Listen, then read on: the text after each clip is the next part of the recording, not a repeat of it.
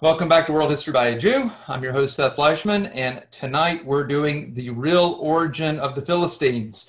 We are in the middle of a series on the Bronze Age collapse, and, and I'm going to start off tonight with a story, a story all of you have heard before, but it may have been a while. So, there was a war in the land of Israel. The Israelites were fighting the Philistines. One of them was a Philistine giant from Gath named Goliath.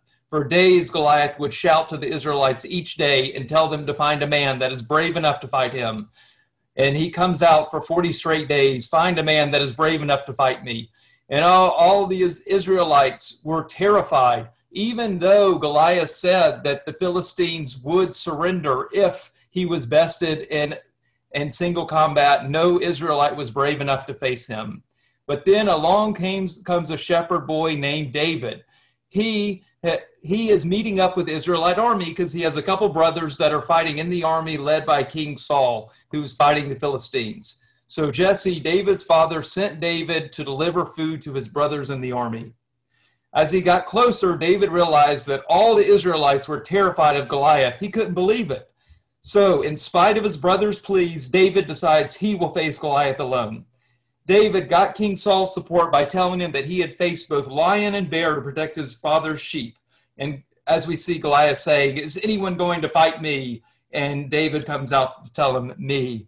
David walks out to the field with no armor and only a slingshot and stones as weapons. The Philistine giant looks scornfully at this young lad coming to face him. Come here, and I will give your flesh to the birds of the sky and the beasts of the field.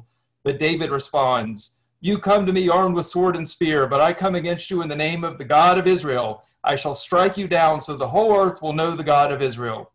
Goliath came at David, but David put a stone in his sling and slung it, killing the Philistine with a blow to his forehead. When the Philistines see their champion dead, they flee, only to be routed by the Israelites chasing them. King Saul now rewards David by making him an officer in the army. So this is our opener because this leads to some important questions for us tonight. First of all, was Goliath a Philistine or a Palestinian? Should we be saying Israel or should we be saying Palestine? What's the better term? Are Philistines and Palestinians the same thing?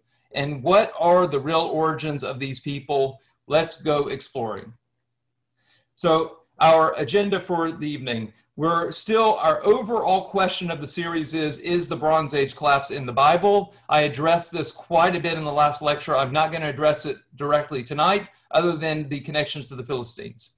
So, first of all, I'm going to quickly go through the Bronze Age collapse and reintroduce you to the Sea Peoples. Those of you who've been in the last two lectures know it very well, but just give me a couple minutes to get everyone else the basic info they need to enjoy this lecture. Then we're going to introduce the Philistines. I'm going to look at how the, what we know about the Philistines from the Bible, and then we're going to go on a little pottery exploration, which may not sound exciting at first, but uh, trust me, I couldn't do a relief. I didn't have a good relief exploration for us to go through tonight, so I figured I would try pottery. I think it's going to work. You'll have to let me know if it works or not. Uh, and then after that, we'll move more into archaeology besides just pottery and talk about Philistine findings and archaeology. And then we're going to jump from what's in the ground all the way to the lab and look at the latest DNA research and what that can tell us.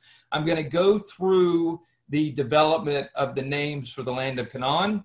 Uh, so we'll get into this Canaan to Philistine, to Philistia, to Palestine, to Israel, Judea, so on and so forth. Then I'm going to talk about how modern Israelis and modern Palestinians are connected to this Philistine heritage. And then I'm going to answer our basic lecture questions. So you're going to see this again tonight. These are our, our questions for the night, and this will pop up a couple more times. Okay, so let's jump into our review. Summary of the Bronze Age collapse. So circa 1300 BCE, it was a high point of civilization. If you had to pick a period of time to live in antiquity, this should be tops of your list. Uh, we have powerful empires dominating the Eastern Mediterranean. These are the Mycenaeans, were the Greeks before the Greeks. We had the Hittites, who were covering most of modern Turkey. And then move on, and we have the, the Mitanni people in Syria, and then Egypt. Egypt was, of course, dominant not just in modern Egypt, but also covering all of modern Israel and most of Lebanon as well. So you have these interleague trade networks. It was very sophisticated. So they were trading everything from grain uh, and clothes, necessities, to luxury items like gold and jewelry. There was sophisticated international diplomacy, and we have great records of this, which which is very interesting. I talk about this in prior lectures. So uh, we're going through a technological revolution. This is the late Bronze Age, which means you're going to start the Iron Age. So there is a technological shift as well. So you have all these great things happening, and suddenly it all collapses. So why did it collapse? There was an extended period of drought, like an historic drought over decades. So areas that once had plenty of food stopped having them, and people became desperate to feed their families. There was a what's called an earthquake storm over 50 years. There were multiple significant earthquakes and also tidal waves, which destroyed cities and ports and boats. Yet a technological imbalance. It's great that technology is improving, but not when uh, the cost is to keep up is more than one can afford. Some of these countries are overly dependent on trade. So if you got your grain from Egypt and suddenly Egypt didn't have grain to send you anymore, how are you going to feed your people?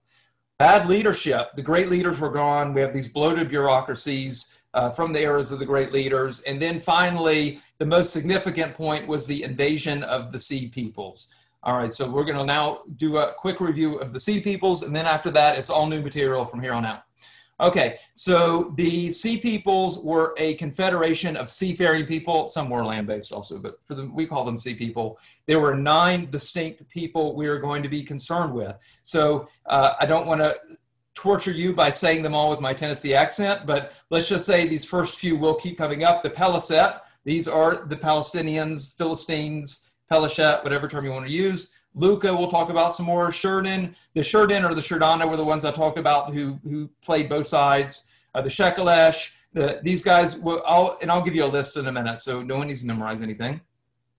The origins of these people are somewhat disputed, although there's a decent amount that have been most likely identified. And I, uh, and I'll talk about the Philistine origins tonight. So then, so this lecture and the next lecture, I'll be focusing on individual sea people and how they're reflected in the Bible. This one is obviously the one on the Philistines, and I will get to the, the Philistine origins uh, a little in a little bit. Now, these sea peoples wreaked havoc all over the eastern Mediterranean, attacking the modern countries of Egypt, Israel, Lebanon, Syria, Turkey, Cyprus, Sicily, and Greece. So that's a lot of destruction. So what's the result of all this destruction? So the Mycenaean Greeks and the Hittites are gone. Their empires are gone forever. Uh, Egypt is still around. Egypt survives, but it no longer has a superpower status anymore.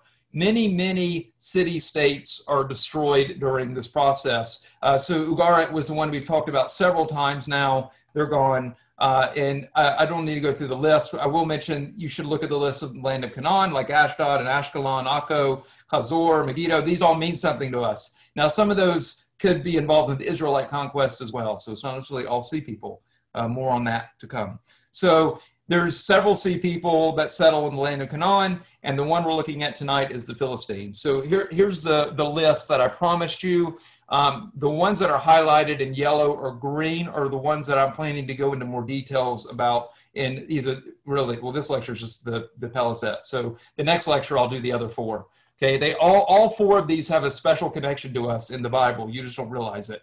Now, I want to show you a little bit of a relief. I said there, I wasn't doing a relief tonight, but I'm touching on this just to, to remind you that each of these sea peoples are distinctive. You can see each of these guys looks a little bit different in this picture. And here's our Sherden, our Shardana. Notice the horned helmets, which we talked about a lot a couple lectures ago.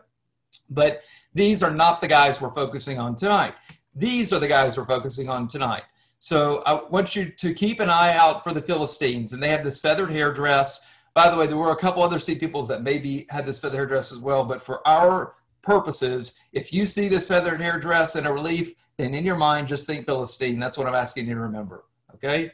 Uh, now, with that being said, let's explore the connection between the Bronze Age collapse and the Bible, most famously with the Philistines. All right, so I'm going to introduce you to the Philistines the name, as I've already mentioned a couple times, is derived from the Egyptian term Peleset, which in Hebrew is Peleshet, so that's pretty close.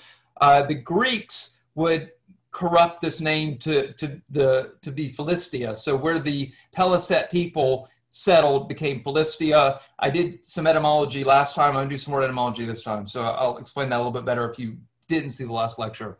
So the so English speakers then derived the term Palestine. Really, the the the Romans took it from the Greeks, and then the us English speakers took it from the, the Romans. Uh, there are numerous references to these people in the Bible. So, with a lot of my lectures uh, in the Egyptian series, I would have like one sentence and have to try to figure something, you know, what this one sentence is talking about. In this case, there's no question these guys are in the Bible. There's well over 250 references. In fact, if you looked at some of their equivalent names, some people would argue it's as many as 500 references. But let's just say they're in there a whole bunch. I think that no one's going to argue with that. Um, they could, the Philistines would compete with the Israelites for control over the land of Canaan. The most famous one is the one who opened up our lecture tonight. That's Goliath. Everyone knows Goliath, who was from the city of Gath. Now, speaking of the city of Gath, there were five main cities that the Philistines settled in. So Gaza, Ashkelon, there's Gath for Goliath, uh, Ekron, and Ashdod. So these are, then there are other little settlements too, but these five cities are combined to be called the Pentapolis. And as you can see, they're all on the coast of the southern Canaan. So this would be south, the southwestern coast of modern Israel. They were a formidable enemy for the Israelites. In fact, they fought them for centuries. I mean, not constantly, but on and off for centuries, especially the first couple hundred years. And the Philistines would last almost 600 years. One little funny detail I want to mention before moving on is circumcision. Well, I guess it depends on how long ago as to how sensitive you are to the topic, but there it seems that the Philistines were the only ones in the area not practicing it. So we think of Jews and uh, and Brit Milah, but it wasn't just Israelites. It was also Egyptians and Canaanites practiced circumcision as well. It seems that Philistines were so well known for being uncircumcised it was often used as a synonym for them. They're just the uncircumcised ones. So, okay, so this is your setup. And now I'm going to start breaking it down. We're going to look at what we know from the Bible. We're going to look at archaeology. We're going to look at the latest DNA. I'm going to take it each step along the way. All right. So let's uh, let's go first into the biblical tradition. This map you saw last lecture, it's a great map. Uh, in fact, I'm actually using it a couple times this lecture. I think it's going to come back to the next one. Uh, I really like this one for, for explaining where we are in history. Uh, now, before there was a kingdom of Israel, before there was a kingdom of Judea, we had the era of the judges. All right, and we had numerous conflicts in that were the biblical tradition tells us between the Philistines and the Israelites. I think the most memorable story uh, from this period is probably the story of Samson, right? Uh, I'm kind of put I'm putting the story of Goliath into where the, the kingdom is already starting. So uh, I think in the pure judges era, you'd have to look at Samson, and I'm going to use I'm going to talk about Samson in the next lecture because Samson is going to help us make another connection uh, next time. So I have to come back to that. We also had a big impact on the tribe of Dan. I don't want to pick on one tribe, but these poor guys, they were settled right in this area of uh, see Joppa, so that's near Jaffa, uh, Tel Aviv. Uh, if you if you don't know Joppa, this area right here was supposed to be the area of uh, the tribe of Dan's inheritance, as told in the book of Joshua. However, you see it's right beside Philistia, and the Philistines actually kicked the tribe of Dan out of their own inheritance, and they moved up here. So uh, I know this map doesn't show it great because it doesn't show the tribal borders, but if you see the little city here, Dan, uh, that's where Tel Dan is today, and that's actually where the Danites went to after the Philistines kicked them out. There was open warfare between the Philistines and, uh, and Judah, and it began with the Battle of Ebenezer. I should say the Israelites were routed and the ark was taken. It went very poorly for the Jews. And then it got worse. The Philistines went and destroyed Shiloh, and they headed north to take Megiddo and Beit Shean. So things just kept getting worse and worse, right? Okay, so let's move to the next step. To stop the Philistines, the Israelites would unite and appoint a king. Now, I want to stop for a second and, and emphasize this really. Think about it. The reason there ever had to be a king of Israel was to defeat the Philistines. That's why the Israelites demanded to have a king was they needed someone to unite them to push the Philistines back. So uh, we know the first king was King Saul, but of course that would then lead to having King David. In this entire monarchy, we can, in a way, thank the Philistines for. Now, the things would start turning around once King Saul is there. Uh, not perfect, but turning around. So in the battle, battle of Michmash, Saul's son Jonathan pushes the Philistines back. He would later become a great friend to King David. David then slew Goliath, as we started off with this lecture, and the Philistines, as we know, fled and were routed after after that after the combat between these two champions. The Philistines, though, were not done yet. They would defeat the Israelites on Mount Gilboa, and King Saul and his three sons were killed. So we kind of go back down again. But then we have another high because King David becomes king. Uh, and he takes Dor, he takes Jezreel Valley, then the Beth-shean Valley. And then David pushes Philistia all the way back into this little corner and he establishes the United Monarchy. So great times had by all after that, right? Um, Post David, the Philistines, and uh, it is recorded in the Bible that the Philistines and the Israelites continued, uh, really, I should say the Judeans, but the, is, the Philistines and Judeans, the Jews continued their relationship for good or for bad well afterwards. So in the mid 800s, we know the Philistines brought uh, tribute to Jehoshaphat, the king of Judah. And then the Philistines, though, would go back to fight Uzziah, the king of Judah, around mid 700s BCE. And the Judeans would break down the walls of Gath. Remember, that's Goliath's home, and also Ashdod as well. And then we're not done. Hezekiah, the king of Judah, would face the, would defeat the Philistines in Gaza. Uh, good thing Gaza's been peaceful ever since, right? That really solved that problem long term. The Philistines would hang around for nearly 600 years, but it would not be the Israelites that would finally push them out. We are told that it was the Babylonian king Nebuchadnezzar. We're going to cross this with the archaeological record in a minute, uh, but I'm going to leave uh, leave this point there for now. Okay, so uh, this leads me to the most common question I get about the Philistines, and that is where did the Philistines come from? So we're going to have to do a little bit of research to get to this. All right, so let's start with what the Bible tells us.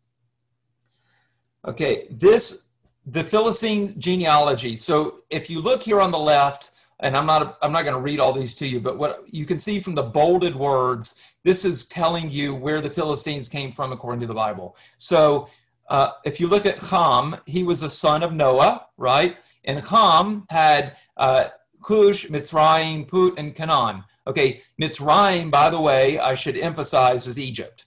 Okay, so Ham got Egypt. So Egypt, Mitzrayim, now is going to have a bunch of other children, and the, we have the Pathrusim and the Casluhim, whence came forth the Philistines. So this is giving us the biblical genealogy of where these people came from, that the Philistines came from these other two groups, and they were also connected to this Caphtorim.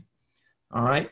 Now, the if you look a little bit further down, there's others. There's these Kerethites as well. Um, and then one of my favorite lines, I put this in red. I was afraid I was going to say I was going to forget it if I didn't I didn't do something to make it stand out. But I just wanted to say I think this is great where you have this this Negev of the Kerethites. So the desert in in Israel, uh, we now have this this part of the desert that's considered the Negev of the of the Cherethites. So uh, here's a list of these people that are mentioned in the quotes to the left.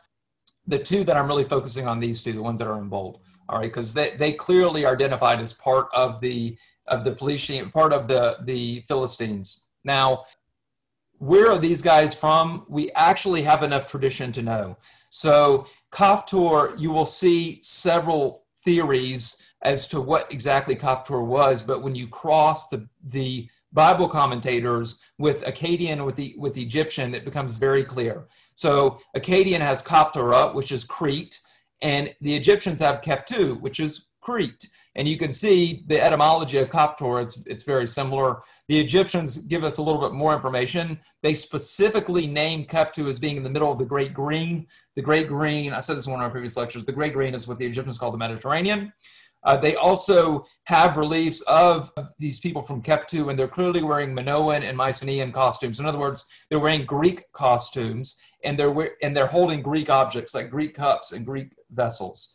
Okay. The other one is the Cherethites. Well, the Cherethites actually sound more like Crete in Greek because Crete, uh, and we've got to remember it's Cretim if you look at the Hebrew, and then Crete in Greek is Crete. And of course, we say Crete in English. That's where our word Crete comes from. So it seems that both of these people are related to the island of Crete. We get that through the Greeks. They help us back up that, that biblical aspect. And then the Akkadians and the Egyptians help us add, add up the Kaftor. The difference between the two, that's probably a longer discussion than we need to, to get to tonight. But um, so the Bible is telling us that they do have a connection to Crete. That's what we're getting out of this. The Philistines have a connection to Crete. Now, what I want to do is look at some pottery to see if the pottery can help us identify where the Philistines are from. All right. So when you look at these six vases, these are actually called a pithos. And a pithos is just a storage jar, like a huge storage jar. If you're going to trade something, if you're a merchant, you'll move it, eh, you know, you're selling olive oil, you'll have it in one of these pithos. Okay. These, there's six pithos here. They're, each pair is from a different people. Okay. And there, the distinctive difference is these necks. So you see the first one has short necks. The middle one has kind of this fluted type neck. And then you have this collar here on the last one. Okay, so let's look at where each of these are from. These have been found in Philistine lands. Okay, and we know also uh, just from archaeology that the it seems the sea peoples were using these pithos without much of a neck to them. The next one is Canaanite. Okay, so the uh, Canaanite has how has this like where the it, the neck comes out, opens back up again afterwards. Even though you see a different shape between these two, it's the neck I want you to look at. And the last one you probably guessed by now is Israelite. All right. Now, the Israelite one, the way you can tell is this collar. And I want to get you a better view of the collar. Okay, you see how it squares off right here? If you can remember this, you will be amazed how much it helps you when you read an archaeological article. Like you'll find some, you'll read an article about some new archaeological discovery, and you'll see they always push the pottery to the side somewhere. If you look at the pottery and you see the squared off uh, collar, then it, you got a pretty good idea that it's Israelite. Uh, and that's it's a great little helpful hint. Now there are exceptions to this, right? These people were trading. Okay, so it doesn't always work. If a Canaanite trades olive oil with an Israelite, then a Canaanite Pithos is going to be in that Israelite town. In addition, it could be that someone just liked it, right? They could have shared technology. But in general, for us novices, this is a very good way of telling the difference, and we can assume it's fairly accurate. So this is this this is storage jars. These are merchant pottery. I want to look more like it everyday pottery to see if we can tell a difference and where it's from. So we identified that pithos as being a sea peoples type item. Now I want to look at these dishes. Okay, so similar idea here. We've got different pairs. Each pair is of different origin. All right, I'm not expecting anyone to know this offhand, so, so let me tell you. The first one is Philistine. Okay, so the prettiest one, uh, this is, it's bichrome, which means it's two colors. Uh, and you can see it has much more intricate designs. That's actually Philistine. I mean, more on that in a minute. Uh, the next one with these more simplistic designs is Canaanite. All right, and by the way, for a long time, Canaanite was plain, but towards the end of the Bronze Age, I started doing very simple, single color, monochrome designs on their pottery. And then the last one, I'm sure you guessed, is Israelite. So the Israelites are the boring ones. You know, everything's plain. Uh, you can just say they're very efficient, right? They, they don't want to waste time designing things. They uh, um, also, you know, if they mix milk and meat, they got to crush. They have to demolish it. They can't reuse it. So maybe they don't want to invest as much in their dishes as someone who doesn't keep kosher. I don't know. Uh, but clearly each of these three categories gives you a way of seeing the difference between them and any of you now can see which it probably is. Again doesn't always work but this is a very helpful hint to the origin of each. Now how is this going to help us connect where the philistines are from? That should be your next question. And for that i want to look at another people's dishes. The mycenaeans Okay, now when you compare, if you think of this last one I just showed you, right here, and the difference between them, and now let me look at the Mycenaeans again, you can see the Mycenaeans are much closer to the Philistines. In fact, if you really look at the details, right, you can see the scaling here, right here, the same scaling here. You can see how they like the triangles. You got the triangles right here. You see how they like these little arrows? You have the arrows right here. The lesson here is the Philistine pottery looks quite a bit more like Greek pottery, Mycenaean pottery. It looks much more like Greek pottery than it does anything in the land of Canaan, Israelite or Canaanite. That's what I want you to see.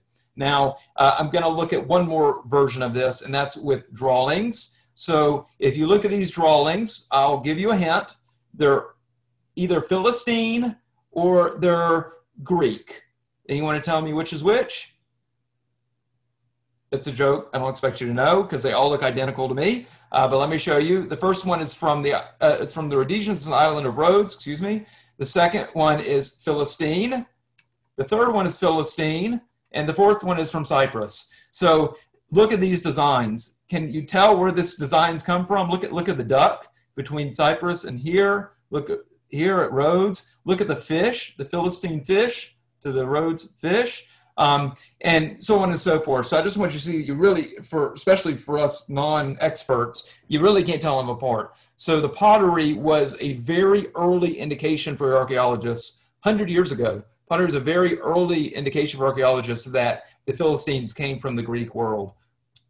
Also, as you know, pottery is great for dating. I've talked about pottery a lot when I talk about Flinders Petrie, but I've never actually tried to go through showing the differences in pottery. So I hope you all like that for something different. So we're going to sum this up by saying if the pottery looks like it's from the Greek world, what does that tell us about the origin of the Philistine people? And now we need to move on to the archaeology because we're about to have another indication of their Greek origins.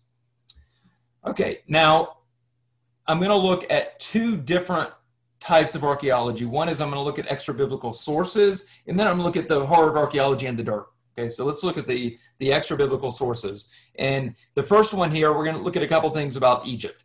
So first of all is the Merneptah stela. Now I did a whole lecture on this. I'm not going to go into it in any detail other than to say in one sentence, we know thanks to Merneptah that as of 1210 BCE or so, there were Canaanites, not Philistines in Ashkelon because he fought them. If you want to know more, just go see the video. Uh, I spent an hour talking about it.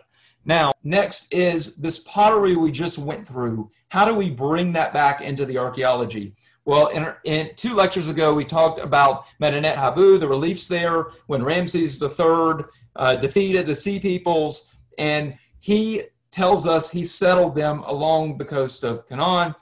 We can see from the pottery that the pottery, this Philistine pottery, started appearing around 1175 BCE we know that Ramses had his great victory. Yeah, 1177 BCE is the common date, maybe in 75, maybe in 80, but basically 1177 BCE.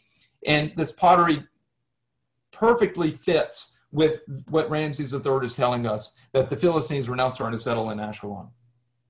Also want to look at Assyrian and Babylonian records. These are the great conquerors. And I have a map here as I'm talking. If you want to look at this map, this is showing the, the different campaigns from both the Assyrians and the Babylonians. But we know from 730s BCE that the Assyrians conquered Philistia. All right. And then, thanks to the Treaty of Esarhaddon, which was actually a treaty between the Assyrians and the city of Tyre, which is right here in modern Lebanon. Um, but in this treaty, it talks about the Philistines. So we know that they were still there, even though they had been defeated 60 years earlier, they were still in Philistia. The Babylonian Chronicle, though, that's really where it ends. So I told you the Philistines lasted almost 600 years. So I'm saying that's from about 1177 BCE up to 604 BCE. That's when the Babylonian king Nebuchadnezzar destroys Ashkelon. He destroys Ashdod, destroys Ekron, and he is actually going to exile these people back to Babylonia. And we know they were in Babylonia because 12 years or so later, there's cuneiform ration lists listing Philistines working for Nebuchadnezzar in Babylon. So their officials did make it back to Babylon, but unlike the Jews who would come back from exile, the Philistines never did. Okay, after after the Babylonians defeat them and and disperse them, they never uh, come back together as a people again. Philistia is done as of 604 BCE, and it's done for good. Now, I want to mention a few other archaeological finds. So I just want to show, I talked about the pottery, but I want to mention a few other differences that are relevant to our discussion. I'm not going to talk about the pottery anymore. Uh, I just don't want to forget that it was here, but also burial customs, okay? Uh, so by the way, when I say the Aegean, the, the Mycenaeans, the Greeks, I'm really all talking about the same thing. I'm talking about that area of the Mediterranean uh, around modern Greece and the islands surrounding it, okay, uh, down to, to Crete, so forth. Uh, anyway, so the the burial customs were very of the Philistines were very similar to that of the uh, Mycenaeans and those of the Greek world. Okay, so one is they have these metal mouth guards, like they put these metal mouth guards over their mouths when they they died. Uh, I'm sure it's you know to keep out evil spirits or something something along those lines. Doesn't matter, but it's a very distinctive practice, and the Philistine burials continue that practice, something that you really only see in the Greek world. Okay. Also, they have these burial figurines, and I put an example of one here. Right. So these burial figurines were were buried with the bodies, and again, this this this type of item, specifically this look, was very unique to the Greek world. And then one other big difference is, and this one is would probably be anyone's guess, is you see much a lot more pork bones, a lot more pig is being eaten in Philistine towns than in uh, proposed Israelite towns. It's not 100% right, and you can have one of the other culture in a given town that can happen. But basically, if you look in the urban areas, you're going to see a huge difference in the consumption of pork between the Philistines and and the Jews. And and and to this, you know, that would continue to this day, right? To see the same thing even this day. And again, there's exceptions, but uh, you know, it, when it when it comes to pork, it's like the only thing Jews and Muslims agree on. So there's probably something to it, uh, and it was back then too. And then I want to talk about advanced metallurgy. So uh, Philistine iron versus Israelite bronze. So the Philistines really came with this new iron technology. They were kind of the harbingers of this iron age. Now, let me just say the Hittites had it too. The Hittites had been there before. I'm not saying that the Philistines invented it, uh, but they were they were probably the first ones in the land of Canaan that really brought this iron technology in mass. And the question is, do they have a technological advantage? Do they know how they, they have a know-how the Israelites couldn't replicate, or do they somehow manage to have a political uh, uh, monopoly. And when you read the Bible, uh, it does talk about the Philistines controlling iron, particularly when they were ruling most of what is now Israel. But you could argue either way, whether it's technological or political. I just want to say, though, that also this iron tech matches what we know of the sea people, right? We know the sea people are bringing this new technology. They're defeating, as we talked about in at the prior lectures, they're defeating these chariots now. They have new weapons, new weapon techniques and they're they're beating armies they wouldn't have been able to beat before. And it's not just these odds here, odds and ends of iron. They're bringing knives, plowshares, spearheads, battle axes. So a lot of technology. Okay. So this is enough of what we can learn in the ground. Now I want to switch over and look at what science can tell us. What can we learn from DNA? Now, I always like to point out in these lectures when new stuff is happening. There's always new developments in archaeology. And one that makes a huge difference in biblical archaeology just happened in 2016. Forever, archaeologists have been looking for a Philistine cemetery. There's so much information you get from a cemetery, and they finally found the Philistine cemetery of Ashkelon in 2016. So this opened up a whole new avenue of exploration regarding the Philistine people. And there's there's a couple DNA studies, very recent. One just released its findings last year in 2019, and the other one just released their findings in 2020 this year. And I want to go through these with you and how they help us with our discussion. Okay, so DNA study number one, report as reported in 2019, there were three time periods in Ashkelon that were studied, with the DNA of the burials was studied. Okay, so we had burials from 1650 to 1200 BCE. We all agree that's before the Sea Peoples. Um, the next area of study was 1150 to 1100 BCE, which was just after the Sea Peoples arrived. And the last one was more like 950 to 800 BCE, which was long after the Sea Peoples, you know, a couple hundred years after the Sea Peoples had arrived. These years obviously aren't exact, but just trying to make it arranged for sim- simplicity's sake. Okay, so let's look at the findings. So group number one, so this is the first one. The the people of Ashkelon were not distinguishable from other area Canaanites. In other words, their DNA was basically the same as all the other Canaanites in the land of Canaan. Uh, and this would also back up what Merneptah told us, right? Merneptah told us he faced Canaanites in Ashkelon based on the, the way they were portrayed in his reliefs. And we see this here. Now I want to look at group two. So group two was right after the Sea Peoples arrived. We had, there was four infant burials of note that are very important. These four infants all had DNA 25 to 70% non Canaanite DNA that specifically was from Greece, Crete, and Sardinia. So, right in the, the Mediterranean world, right around Greece, right in this Greek world, this Mycenaean world we've been talking about. Uh, and then what's interesting is when you look at group, oh, and I should also mention the emphasis is important due to the fact that they had to have been born there, right? If you have adults, they could have always moved there. You don't know. But in order for an infant, you know, you don't travel across the ocean with an infant uh, or a pregnant woman either. That's very dangerous for her health. So most likely the assumption is an infant uh, born in the land of Canaan was uh, most likely conceived, or at least knowingly conceived, and certainly born where in that place. So it's important to show that this, this Greek DNA is there. Group number three goes back to the Canaanites. In other words, we have this influx of Greek DNA in group two, this time period, and a couple hundred years later, boom, back to Canaanite. So it's like from goes from three back to one and skips number two. They kind of disappeared on us. More on that later. DNA study number two, which was just from this year.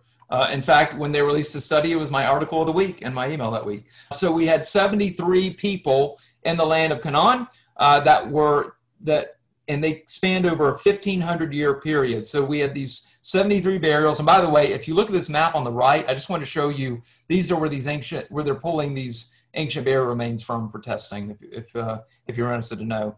Uh, four of the sites for this particular test were in modern Israel, and one was in modern Jordan. Okay, uh, so what's interesting about these 73 people is they were all genetically similar. Like they were not completely different at all. Uh, they clearly had DNA links between them. This includes modern Israeli Jews and modern Palestinian Arabs. Both showed over half their DNA matched with the ancient Canaanites from here. Okay, that's a really important point.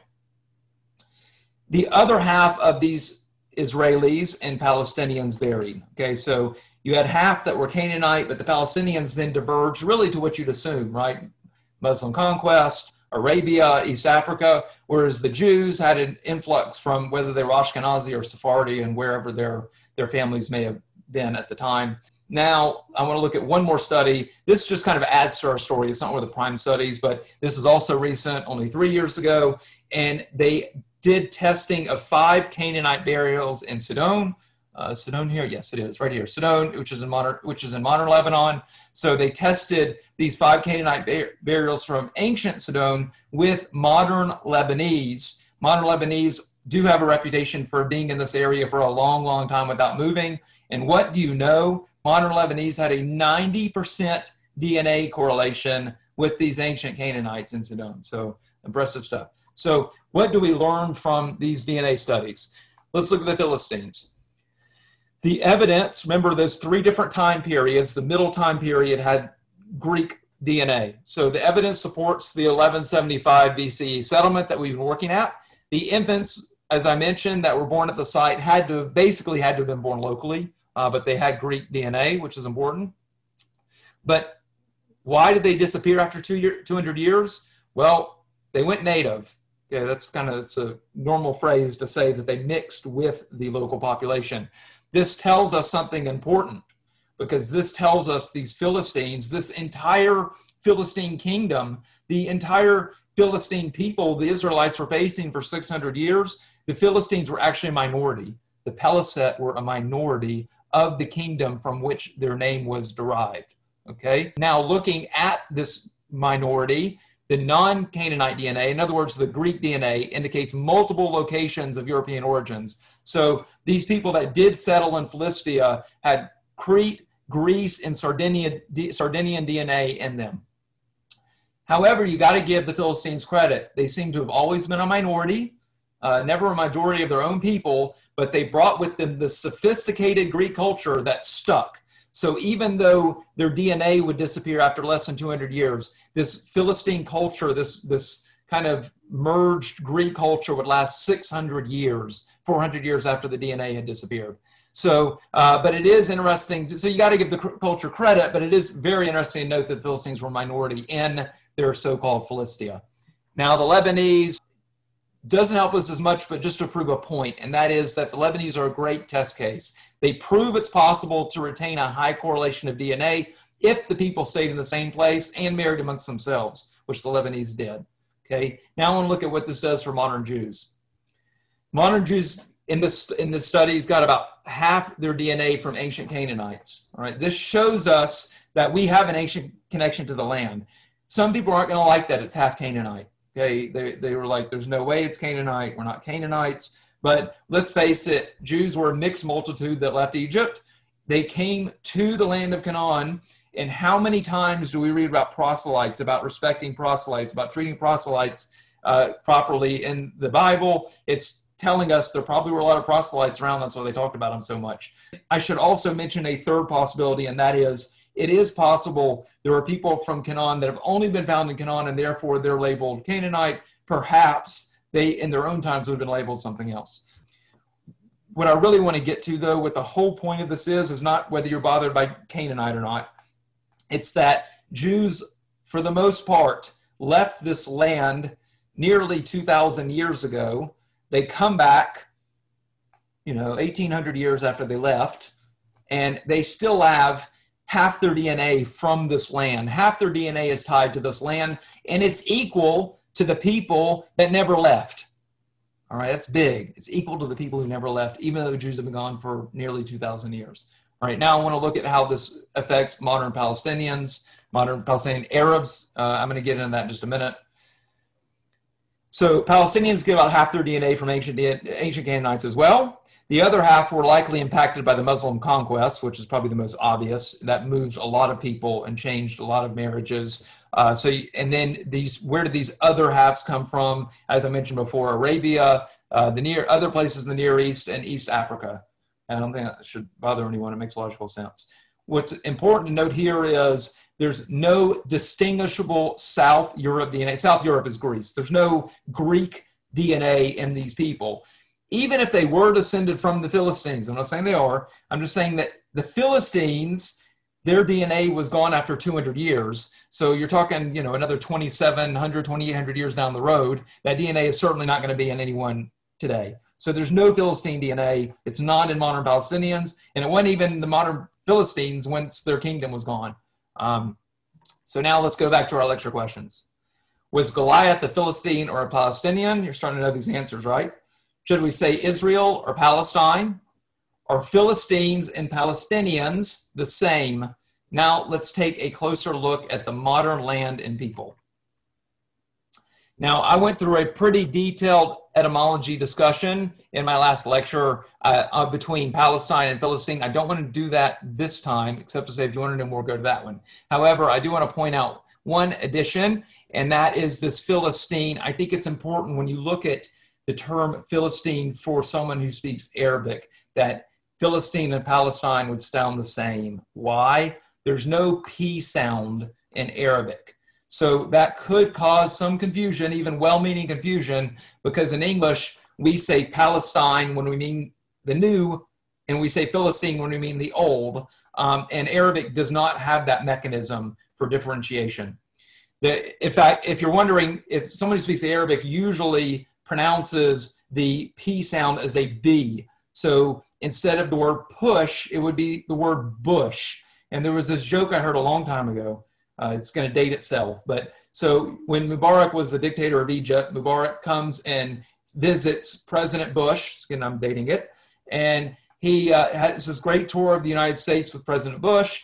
After that, he flies back to Cairo. He lands in Cairo and he and he calls all his head staff into the room and say how much better the American president is treated than he is, even though he's the absolute ruler of Egypt. And they say, Well, how come, uh, Mubarak? And he said, Because President Bush has his name on the back of every door in the United States. Um, so I, I, don't, I can't tell if you're laughing or not, but that was kind of funny and it popped in my head again. So let's look at Palestine, the land, instead of Palestine, the people. Okay, so biblically speaking, as we've well established, we have the land of the Philistines with the Pentapolis. Okay, and the Greeks then gave us this term Philistia. And now I want to go back to our culture, to this, this idea of cultural bias, right? If the Greek people know that Philistia was founded by fellow Greeks, they're much more likely to call it Philistia than they are to call it Israel or Judea they're going to use the term for their own people. So there could very well be some cultural bias. For the Romans, though, when the Romans conquered Israel or Judea, I should say Judea, when the Romans conquered Judea, they named it Syria Palestina or just Palestina. Okay. This was in 135 of the Common Era. The Roman Emperor Hadrian, under his leadership, they defeat the Bar Kokhba revolt, which is a horrible tragedy in, in Jewish history. Um, but after Bar Kokhba's revolt, that's the end of the independent kingdom of Judea. That's the end of the Jews having their own kingdom or a country up until 1948.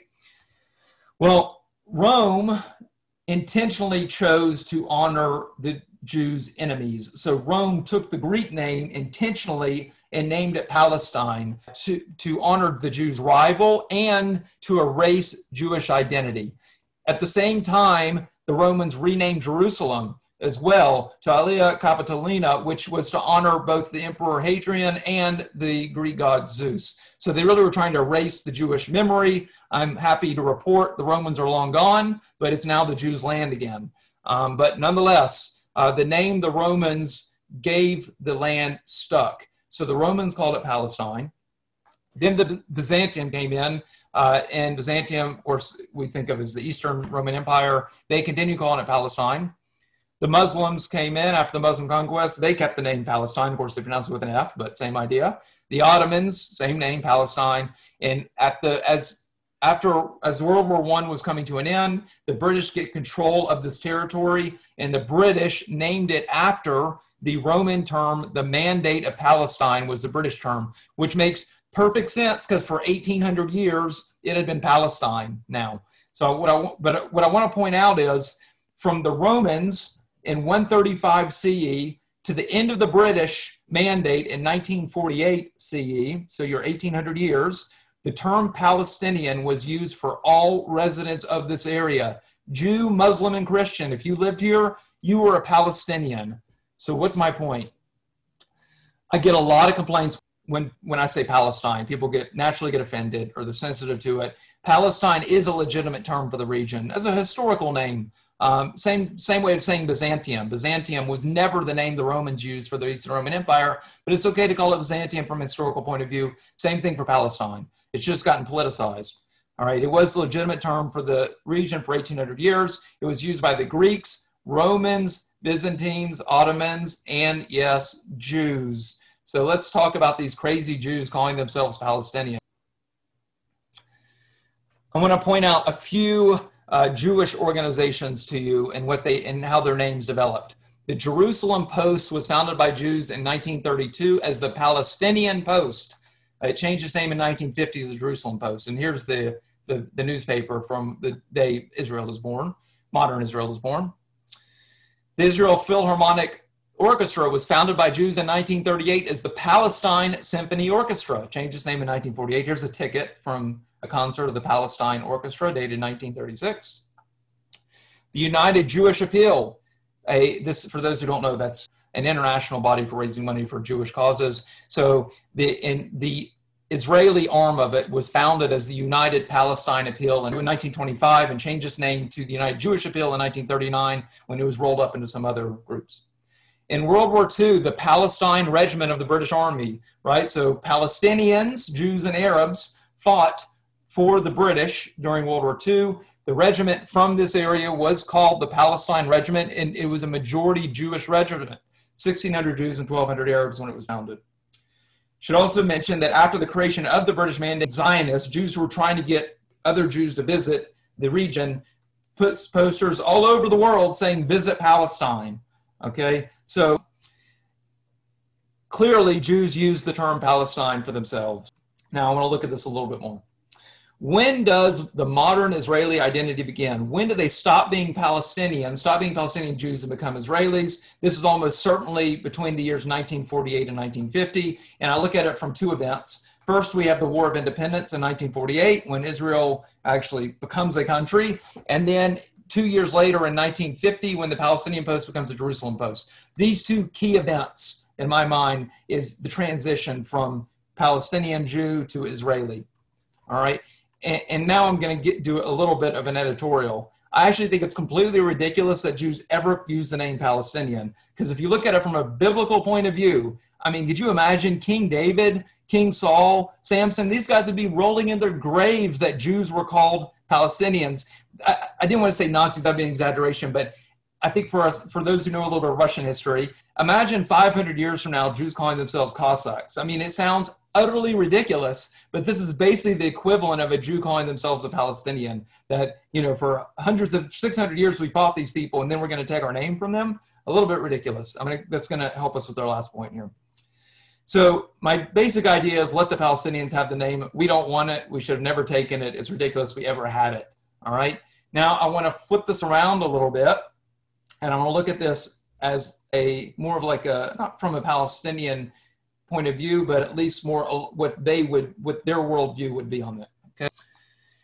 Palestinians, and I mean modern Palestinian Arabs, do claim ancient descent. Okay, but what Jews are most sensitive to is when Palestinians call themselves Philistines. Well, I can tell you that that's not very common for Palestinians to say they're Philistines. They have done it. Arafat did say it, but it's really a relatively recent claim uh, that the, the, you know it's not like for 100 years they've been saying they were they were descended from Philistines. Okay, the most consistent claims have been the next two. So that's Jebusites. And that's actually the most consistent claim. If you want to go look at Arafat quotes or Palestinian leadership quotes, they seem to say Jebusites more than anything else. Uh, Jebusites is it's a little bit disputed exactly who the Jebusites were, but the uh, Cliff Notes version of it was they were Canaanites residing around Jerusalem before the Israelite conquest. The Jews were not successful in pushing them all out. So we know Jebusites, at least according to the biblical tradition, Jebusites remained there afterwards. Okay, so the trick is there's no archaeological evidence of the Jebusites. There's no proof these people were ever there. Uh, so there's no way to connect them or disconnect them from the from the modern Palestinians. There's no proof. The other I want to look at is the Canaanites. Now Canaanites, we've heard less really, but they have used it consistently throughout the years. I mean, the Palestinians have used it consistently thanks to DNA, I think this claim is only going to increase because the DNA studies do back up the claim that uh, Palestinians are descended from uh, ancient Canaanites. But what I want to say is for the average Palestinian, other than the political aspect, I don't think they would care because the Quran doesn't have Jebusites, it doesn't have Canaanites, it doesn't have Philistines. They wouldn't know who any of these people are if it wasn't for their, what their leadership said. Okay? Now, these next quotes can be highly inflammatory, uh, so I want to be careful with them. What I want to establish is that the Palestinians were not a people, an identifiable people until later. In other words, in the, look at what was said in the 1930s. Here you have a Syrian Arab leader saying Palestine is determined by the Zionists. That's right.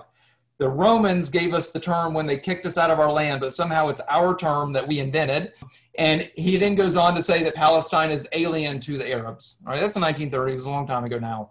But if you go on here and look at this conversation between Assad and Arafat in 1976, or if you look here from this PLO Executive Committee statement in 1977, they, the Palestinian people does not exist. It's really for political purposes that there's a Palestinian people. Okay, um, I don't want to get any more than that. But what I want to say is these people do at this point claim to be Palestinian people. What does that mean for us today? All right. So when did the modern Palestinian identity begin? So Palestinian Arabs became Palestinians somewhere between 1964 and 1968. That's when they gave up on this whole we're Syrians or we're Jordanians or what have you, and we're Palestinians. So the big event that happened was in 1967 when you had the Six Day War, and Israel miraculously defeats the combined armies of Egypt, Syria, and Jordan and defeats them in six days. This was the sign to the Palestinian leadership that they were not going to win, at least not going to win anytime soon against the Israeli army. So they started shifting to more political goals. Uh, unfortunately, part of that to them, political goals includes terrorism. The, the days of them depending on an army kicking the Jews out kind of ended in 1967. The Palestinian National Charter is the Palestinian Liberation Organizations. That's the governing body of the Palestinians. That is their charter, which was first uh, put out in 1964 and then again in 1968. What happened between those two things? The Six Day War. In 1964, uh, Jews were considered Palestinians if they lived in the land of Palestine. It said it very specifically. And the Palestinians referred to as Palestinian Arabs. That all changed in 1968. 1968, the charter was rewritten, and this time specifically called Palestinian Arabs as the Palestinian people. So this shows a real peoplehood happening in the end of the 1960s. So what does this mean? So Palestinian Jews became Israelis around 48 or 50, and the Palestinian Arabs became Palestinians around 1964 to 1968. Okay, so I should say the Palestinians originally took this name not because of the Philistines. They were not claiming the name because of the Philistines. They were claiming the name because they were native residents of the British Mandate Palestine. And that's that by at that point in the beginning, this applied to both Jews and Arabs under the British and initially under the Palestinian Arabs themselves. And uh, I know I keep saying this thing about the ridiculous thing, but it really does bother me. So I keep saying it over and over again, hoping it'll stop bothering me. Now, what do I think about the Palestinian Arabs becoming the Palestinians? And I may differ with some of you on, on my thoughts. Basically, I believe people have a right to self identify as they wish. So, assuming whatever they're self identifying as doesn't infringe the right on the right of others, I don't see a problem. So, and also, just because the Palestinians did not claim peoplehood until 20 years after the Jews, that does not mean it's somehow not allowed. Okay, because the, the basic thing is no one else was claiming the name. The Philistines are long dead, and the Palestinians want it. Okay, so to summarize, we know now many Palestinian families have ancient roots in Canaan, but they are not the biblical Philistines. They're not from the Bible, uh, but the you know the biblical Philistines were forced from their land 2,700 years ago. They're long gone. So that emphasizes the point no one else alive has a right to claim the name. So let them be Palestinian if they wish. My problem, what really bothers me is the problem lies in weaponizing Palestinian to delegitimize Israel. Okay, let's wrap up. That's a tough one. Our lecture goals for tonight was Goliath a Philistine or a Palestinian? We all know very well he's a Philistine now. Should we say Israel or Palestine? It is the modern country of Israel that's undeniable, but from a uh, scholarly point of view, from a historical point of view, it's not necessarily wrong to say Palestine. Are, Palis- are Philistines and Palestinians the, Palestinians the same? Absolutely not. For the most part of their history, Palestinians wouldn't have claimed to be. It's only more recent time that they have uh, at all. So, what are their real origins? So, the origins of the Palestinians are it was defined by the Palestinian Liberation Organization. You can look up the charter, but it defines Palestinians as pre 1948 natives to the British Mandate Palestine. It's nothing to do with the Philistines. That's where they, they're Palestinians because of the Mandate Palestine. The evidence does support significant descent from Canaanite natives, right, from the DNA but there was a genetic infusion of the, from the Muslim conquest. We had Arabia, we had Egypt, we had Africa. Okay, things did change, but they have they seem to have some sort of connection. Until 50 years ago, they the Palestinians saw themselves as Syrians or Jordanians. It was only really since 1968 they coalesced into a people called the Palestinians. Now I want to look at the origin of the Philistines. So the evidence supports an 1175 BC settlement that fits great with our entire chronology for the last I don't know five six lectures all of it fits together. Uh, and this lecture, just another piece in the puzzle.